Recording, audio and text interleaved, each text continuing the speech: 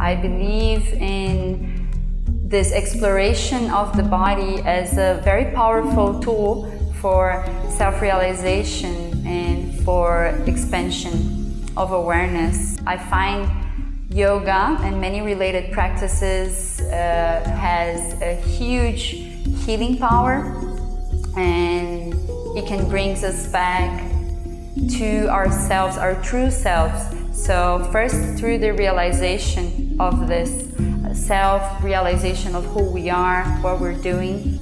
I'm very happy to have you all studying with us through this journey. I hope you can find a lot of revelations and revolutions within your body, your breath, and I wish you a beautiful journey with us.